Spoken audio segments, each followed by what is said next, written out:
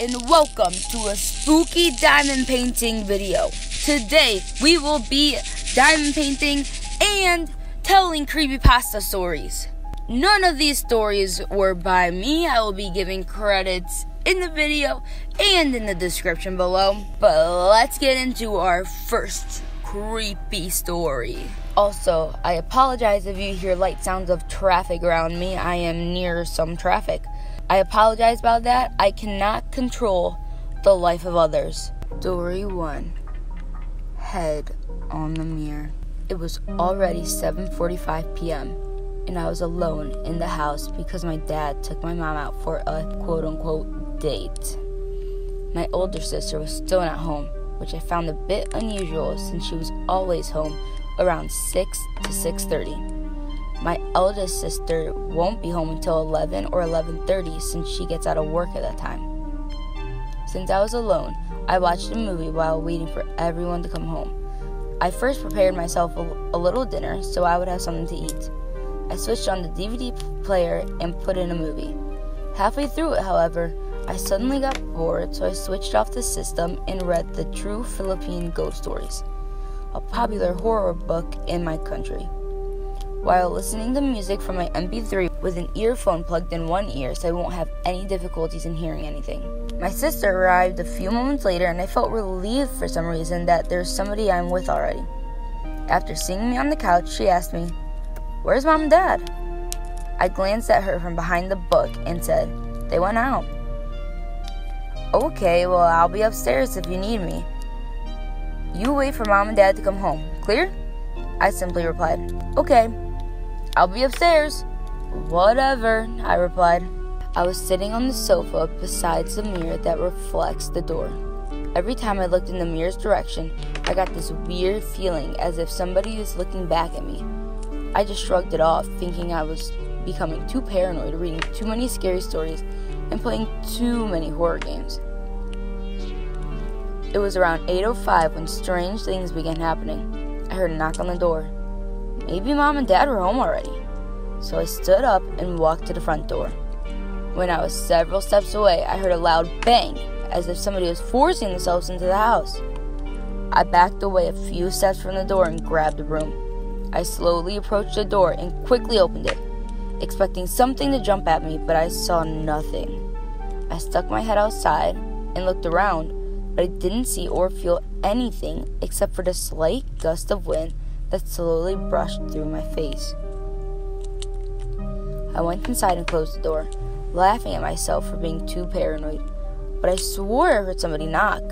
That surely wasn't my imagination. How could my imagination explain that loud bang I just heard? Thinking I'm really just paranoid, I continued reading while listening to music. After 10 minutes or so, the knocking sounded again. But this time I had a, feeling of being annoyed and at the same time, fear. The knocking went on for a few more minutes until it finally stopped. I phoned my best friend, who is a bit of a psychic, and told him there's something strange going on and that I always get a weird feeling whenever I look into the mirror. He asked, You can feel it too? After a moment of silence, I asked him, Feel what? And after another moment of silence, he told me something that made me feel even more uncomfortable. He told me that when he first visited my house, he saw long strands of hair scattered on the floor by the front door, and a feeling of uneasiness wrapped himself. After hearing this, I told him it isn't funny and I asked him if he was trying to prank me, and stated it was a risible attempt to scare me. To which he replied, No. Then he apologized for scaring me. I told him it's okay and I'll see him tomorrow before I said goodbye and hung up. I just continued reading, this time hoping nothing interrupts me. I stood up and went to the kitchen for a glass of water and went back to the living room. Just as I was about to pick up the book from the coffee table, something caught my eye in the doorway of the kitchen. It seemed like a shadow. I looked at the doorway for a few moments and then called out, Hey sis! Are you there? But got nothing as a response. I was trying to get all the weird feelings off me, but I just couldn't help but look at the mirror every time I get the urge to do so. After looking at the mirror for a few more times, I looked at the mirror another time, and what I saw made my hair on the back of my neck stand. It was a human head, partially covered in hair. I rubbed my eyes, thinking I was just playing off. I was wrong. It was absolutely real. The feeling is becoming even more uneasy at every passing minute. I ignore the fact that there is something really scary that will haunt my dreams. When I gather the courage to look into the mirror for the last time, it is a decision I regret it deeply. The face is right in front of the mirror already, as if it's trying to get out of it. The face is something that would traumatize any child. It smiled at me. I saw its pale face with streaks of blood on it. The sight of this horrible entity made me sweat in fear and then I passed out. I woke up around 10:30. The horrors I experienced haven't haven't left me. Through the corner of my eye, I can see the head is still there, staring at me. I heard my mom's voice call on the front door. I rushed to the door tripping like an idiot. When they were inside already, I joined them in the kitchen and asked my mom how their day went. My mom said happily, Oh, it's the best date I've ever had, while looking at my dad, who was smiling at her. A few minutes later, I told her all about what happened, but I haven't told her that the ghost still hasn't left its place. The moment I told my mom about the head that was on the mirror, the smile on her face disappeared, and it was replaced with a worried expression as she looked at my dad. What's wrong? I said. Oh, nothing, it's just. Just what? My mom told me that when we moved here, the mirror was already here. She found the mirror nicely decorated and it looked good for furniture, so she kept it instead of selling it. Like the way I did, she experienced weird happenings when she was home alone, like a shadow lurking around. She once saw a man that stood behind her when she was alone in the house, but she just tried to ignore them, hoping it would go away. A year has passed, but that horrifying experience I had still hasn't left my mind. About the ghost, whenever I look at the mirror, I can still see the head, never leaving its place. Vengeful child. Yesterday, my daughter told me that she had an imaginary friend. There's nothing strange about that. Lots of young children have imaginary friends. But there's something strange about her imaginary friend. She named her friend Gazelle. What is strange about the naming of her friend? Gazelle is the name I would have given my first baby if my wife and I didn't have to get an abortion. School. I don't really believe in the paranormal, but there was this one time I felt very ill at ease. It happened in September 2012, and my wife and I decided that we should go away for the weekend to see her family in Stoke. So we drove up from our house in Southampton at 5 in the afternoon, and it was just my wife, our three year old daughter, and me. As we were on the motorway, we got to see the beautiful English countryside, which made my daughter happy as she was pointing at the livestock, saying, Ha! Look, cows! There were problems on the motorway as we got closer to Stoke, caused by an accident on the M6 and road works, which really put us behind schedule. So my wife called her parents and she told them that we should get there in the early hours of the morning. So I drove through Stafford just so I could avoid ongoing traffic as it was getting annoying. And at times, I was only moving two feet every five minutes. It was then, one in the morning, with my wife fast asleep in the passenger seat and my daughter asleep in the back. I then suddenly drove past what looked like a school, and then my daughter woke up and said, Daddy, look at those blood covered and burnt people watching us while eerily smiling at me. I replied with, Where? in a terrified and concerned manner due to the fact that my daughter's three and wasn't coherently speaking at the time. She then proceeded, In the school playground, Daddy. So, out of curiosity and concern, I got out of the car and looked over the fence into the school playground and saw nothing. As I went back to my car, just as I was going to say something to my daughter, I noticed she was fast asleep. I noticed as well that my car looked like it was about four feet from where I parked it and the handbrake was down. Which was worrying as there was a steep hill going down another four feet ahead. As I was driving up to my mother and father in law's house, I decided to dismiss everything that happened due to exhaustion and stress. I woke up the next morning and decided to get some breakfast for everyone. So as I walked to my car, I noticed there was a red child-like handprints all over the rear of my car. The girl who died in our swimming pool, Dakota Holloway, 11 years old, drowned in pool because of neglect from lifeguard, February 7th, 1999. Mark, did you hear? What? Mark, you didn't hear? Cindy was saying she's been hearing splashes in the pool and kids laughing when she closed last night. She's freaked, man. She thinks she may be the one this year. Mark was his usual self, trying to get me into believing his story about how the city pool is haunted. The one lifeguard supposedly chosen to die every year, according to Greendale community legend. I've heard it a million times. It's because some girl drowned in this pool. What a load of crap. I personally never seen a ghost in my life. Mark. The curse always continues, my friend. Well, my curse is it's Friday night and I'm once again assigned to the closing shift with Mark by our supervisor Simon. It's the sixth time this month. Maybe instead of lifeguard, my job title should be pool closer. The reason for me was simple I'm the new guy. The reason for Mark?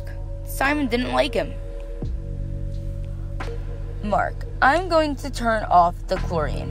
You grab all the toys and flutterboards and put them in storage. You got it?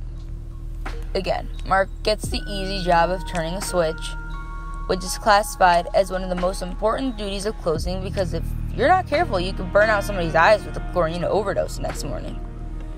And I get the easy job hunting down 40 or so floating pieces of rubber and putting them into a bin every freaking night.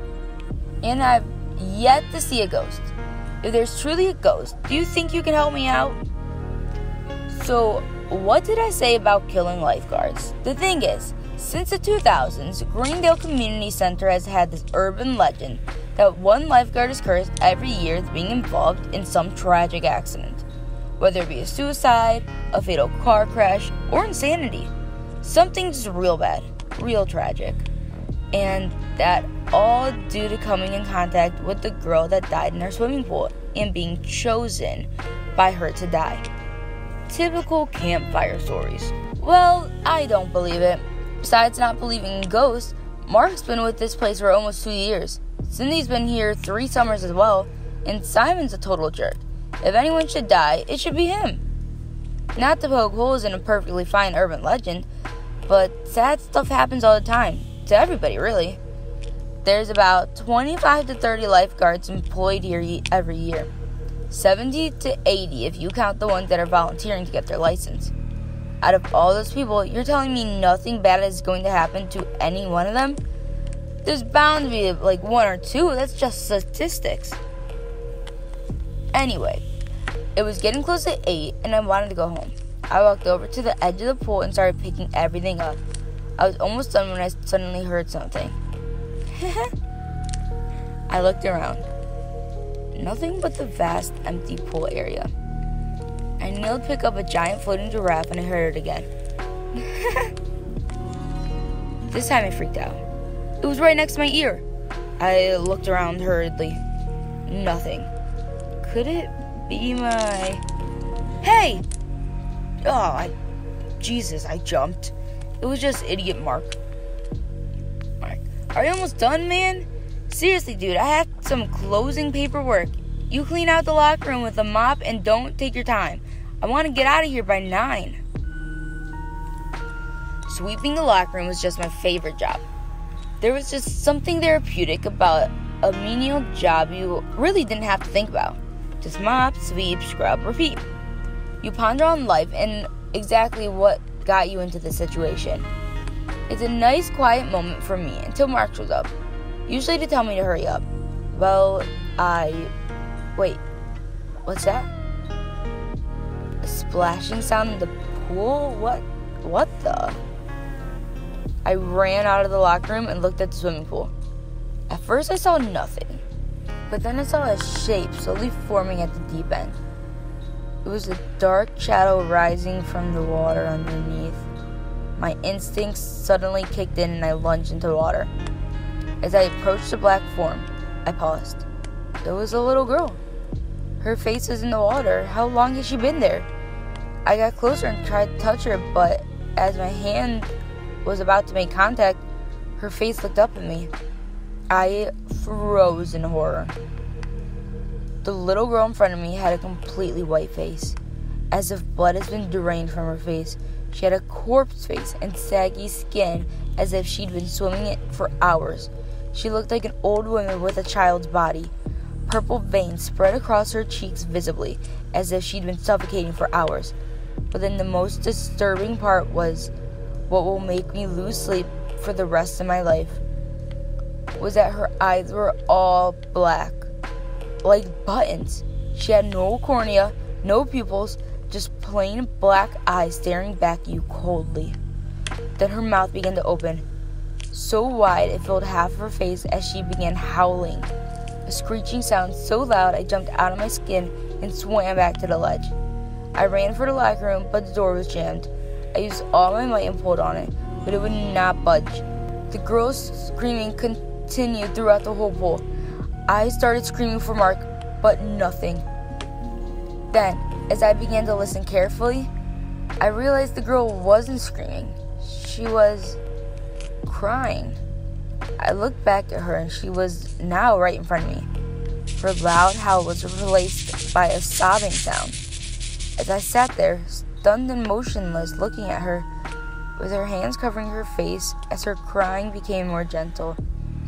And more and more, she resembled just a sad, lonely little girl.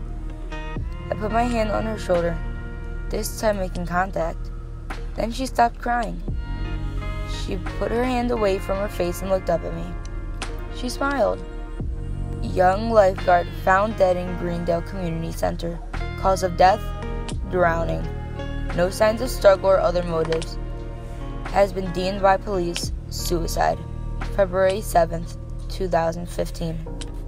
Can you help me find my cat? I was out one night in December around midnight. It was terribly cold, being the day after Christmas. I sighed deeply, almost amused at seeing my breath. I was tired walking home from my friend Ricky's house. We just got done eating a ton of snack food and playing Pokemon, battling over and over like when we were kids. How I miss those days. I'm 17 now, and kind of a nerd.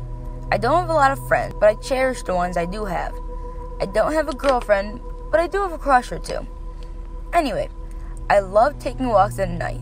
It was so quiet and peaceful. I also really loved the cold air caressing my cheeks and fingers. I sighed again, almost home. Just a block away was my house, where I lived with my mom and two bratty younger sisters of 15 and 10. Part of me didn't want to go home, worried mom would catch me up late and scold me for being out alone. Suddenly, I saw her. She was pretty, kind of short, but not a child. She had wavy blonde hair and was wearing satin pants and a light blue tank top. As I got closer, I could see her face. Her pale skin was almost white as snow, with piercing green eyes. Her lips and fingers were blue. She looked very sad and very cold. I imagine it was because she was barefoot and had nothing on her arms. As I got about three feet away from her, she took a step towards me and said, in a chilling, soft, yet raspy voice, Can you help me find my cat? I shrugged and tried to smile. Sure, uh, where do you think he is? She pointed to a truck parked in the driveway. I nodded and walked with her to the car. Before walking around it, I took off my jacket and offered it to her. Here, you're gonna freeze to death. She smiled sadly, looking up at me. After a short pause, she whispered, I already have. By then, I was getting freaked out by her. I didn't believe in ghosts or anything, plus, I could see her breathing.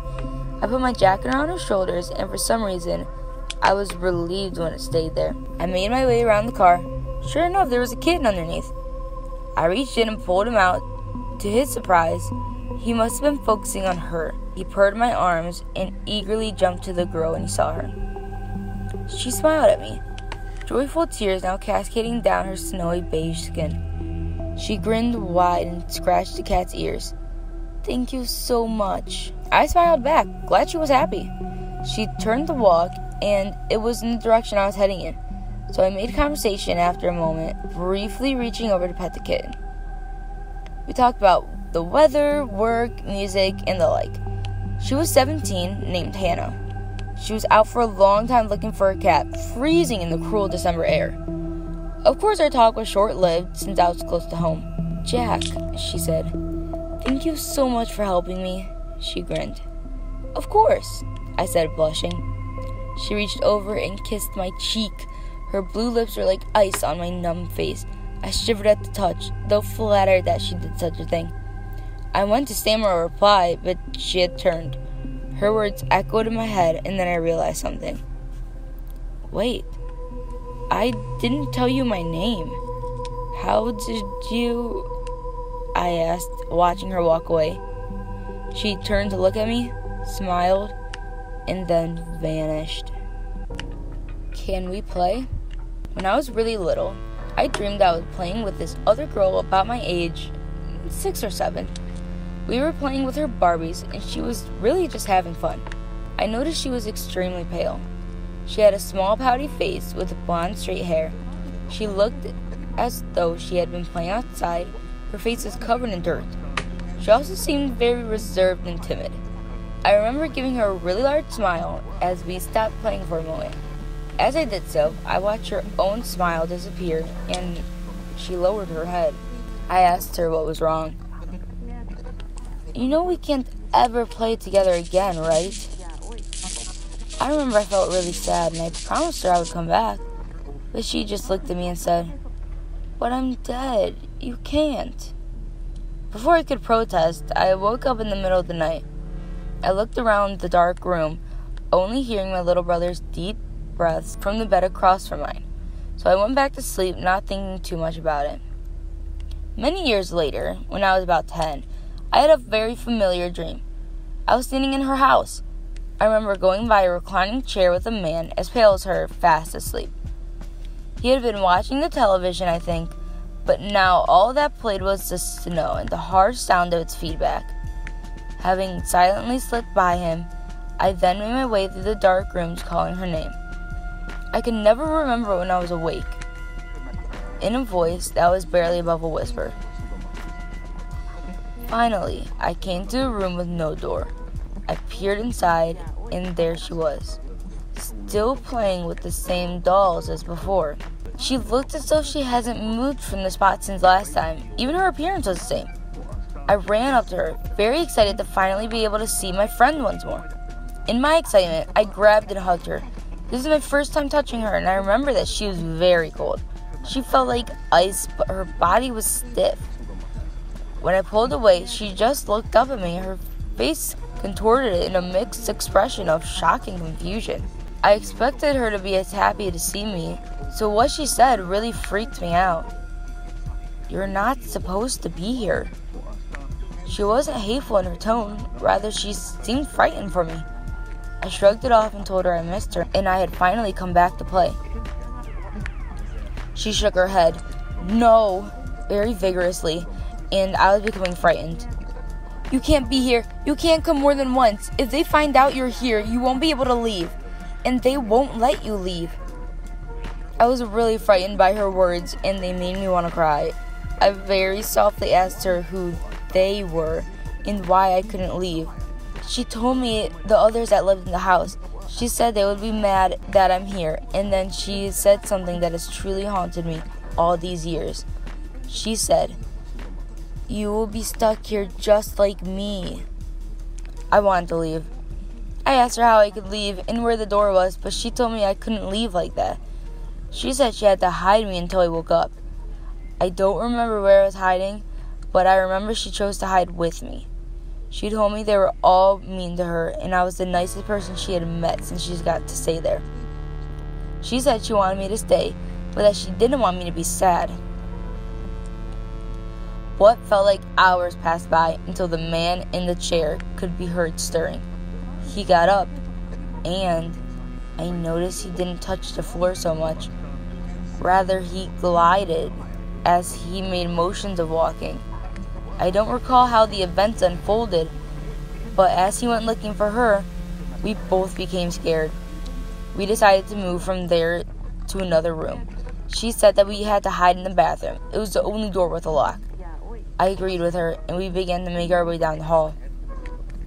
As fate would have it, we stumbled upon another person inhabiting the house. She motioned for me to be quiet, as he had his hands covering his face. I could hear him crying very loudly, and though she said to be quiet, I ventured to console him. As my first words escaped my mouth, his cries stopped. The hall became deadly silent, and the girl began to frantically tug on my shirt. He uncovered his face as she pulled me further down the hall, but I continued to look at him for a short time. He looked at us with those, those eyeless holes, and his scream and the way his mouth opened were unbelievable. It looked as though his jaw became unlatched, and the how he let out sounded of pure hatred and anger. I was terrified. She grabbed my hand and we began to run. We made our way down the narrow hallway, and as we did, the screams of all the others who stayed there filled the house. They were all chasing us now.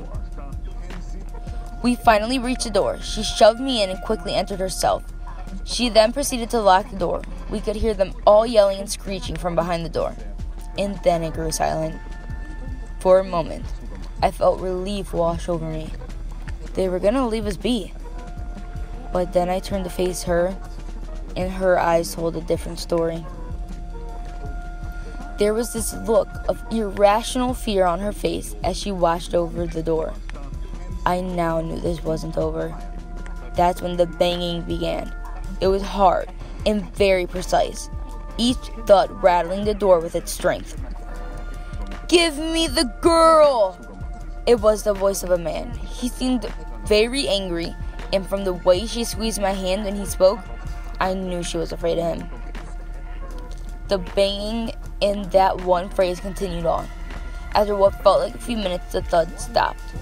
I was too afraid to grant myself a moment of false security, and I was right to do so. He began to ram his shoulder into the door, now screaming that he wanted me. I'm not sure how, but I knew this was the man in front of the television. The door began to give way, and I became increasingly frightened. That's when she did something I will never forget. She came to kneel in front of me and pleaded for me to wake up. She said she couldn't let him have me. Her hands grasped my shoulders tightly as tears welled up in my eyes. That's when the door finally broke open. She grabbed me, wrapping me in her arms, and began to hold me super tight. As tight as she could. And I began to scream for my life. It is then that I finally woke up. I woke myself up with my screaming. At first, everything was black, and so I didn't stop screaming. It wasn't until I realized I was in my bed and actually opened my eyes that I stopped. Above my face was my dad's, and from the look on it, it seemed he was scared. He said that I had been screaming for a while, but he couldn't wake me up. He said he had poked and shaken me, but I wouldn't open my eyes. I wouldn't stop screaming. He asked if I had a nightmare, but I told him I had a dream that I've had once before. I said I dreamed that I went to play with a friend, but her family didn't like me. To this day, I had never dreamed of the girl or her house again. I know it's a little choppy and vague, but it's been 10 years since I had these dreams. I recently began thinking of the little girl and everything that happened. It truly scared me, and so I thought to share it with others. And those are all of the creepypasta stories we had for today. I hope everybody had a super safe and fun Halloween if you celebrate that. And we have a subscriber shout out for today. And this is the subscriber shout out. Thank you so much for watching. I appreciate all of your support. And for everybody else, make sure you're subscribed for a chance to be featured in next week's video. And I will see you all next time.